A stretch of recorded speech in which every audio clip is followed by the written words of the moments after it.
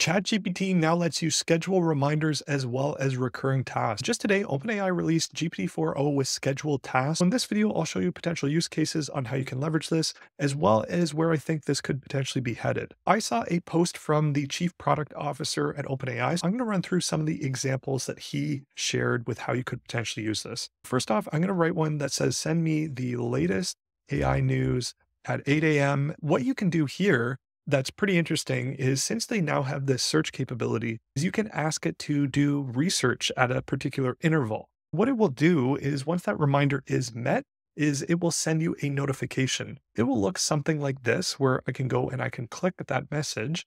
It will open up ChatGPT, and within this conversation thread, we'll get the latest results here. Here we have all of the latest AI news here. Here are the latest developments in artificial intelligence as of January 14th, 2025.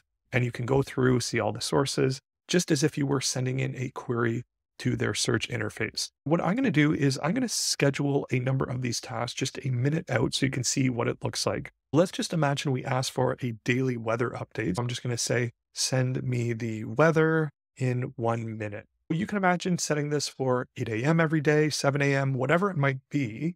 But what you can do as well within the interface now is you can click on the task and then you can specify the name of the task, the particular instructions, as well as change the schedule. You can specify whether it repeats or not. If you do want custom times like you saw in that first example, you can just specify what you want with natural language. Like you saw within this, we asked for 8 a.m. and 5 p.m., but that could be any combination. All right, we just got an email about the weather. We see sunny skies with 58 degrees, and I can click on that link and I'll see the weather. Sam Altman just put out a blog post last week where I think it really points to potentially where this is going.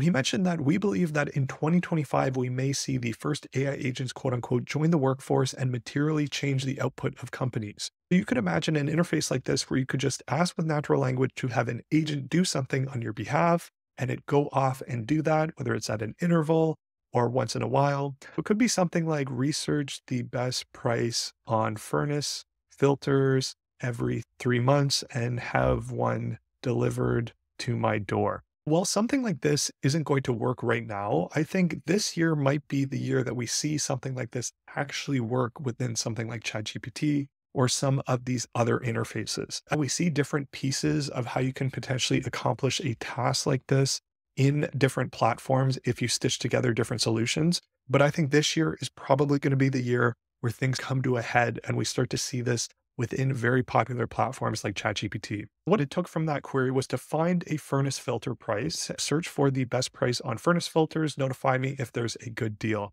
Now, the next sort of iteration or logical step of this is to have it actually take that action and execute and buy that item for you. I think that could potentially be a pretty interesting use case for something like this. You can also have some fun with this if you want to generate an image every night about a children's bedtime story featured around, and then you can just specify something like dragons, and you can have it generate images, maybe even a story as well every day at a certain time. We can see daily at 9 p.m. It's going to generate a bedtime story image. And within here, I could just edit this and I could say something like, also write a script for the story. I'll send that in. And you could imagine with their capability is you could also have the audio be generated eventually with something like this. Another potential use case for something like this is every day at 8 p.m., send me a workout plan, a combination of using a stationary bike and dumbbells.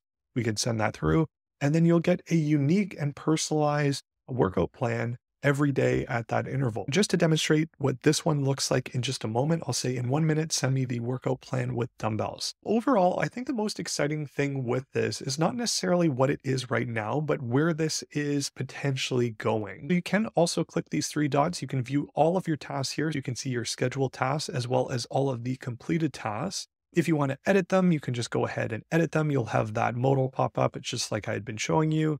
And alternatively, if you want to pause and delete them, you can do that as well. I just got the alert for the full body dumbbell workout guide. So if I click that message and we take a look at that, we see that we have our sample workout plan, warm up, workout. We have all of these different pieces within here. Another interesting thing to consider with this release is what it potentially means for just general applications. Would you use something like ChatGPT over a fitness app, for instance?